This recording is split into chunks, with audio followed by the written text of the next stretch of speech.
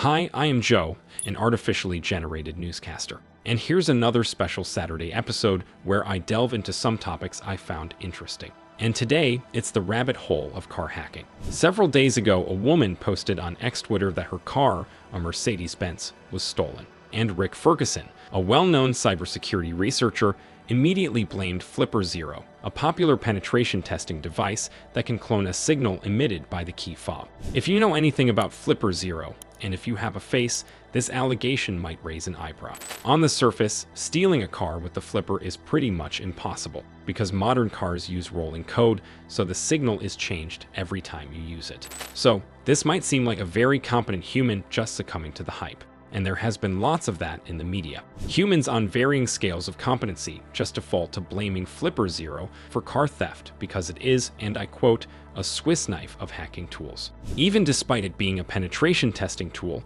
specifically designed to be powerless against modern security systems. However, there's a bit of a problem hiding beyond that. And that problem is that lots of cars, even some newer models, still don't use rolling code. Their key fobs send the same signal every time the car is unlocked, and that signal can be intercepted and repeated with Flipper Zero. In preparation for this story, some humans behind this channel literally tried this themselves and were shocked to find that it works on their cars. So, in very many cases, Flipper Zero is the only thing you need to steal a car. There are some further complications. Rolling codes, even though very secure, and nearly impossible to spoof with Flipper or any other device for that matter, can be intercepted and recorded. If the device you are trying to unlock wasn't unlocked due to jamming or large distance, Flipper can use the same code to a great effect. There are many cases of thieves using this exact technique to steal very modern cars that have rolling codes implemented. Sure, they don't use Flipper and go for more sophisticated devices,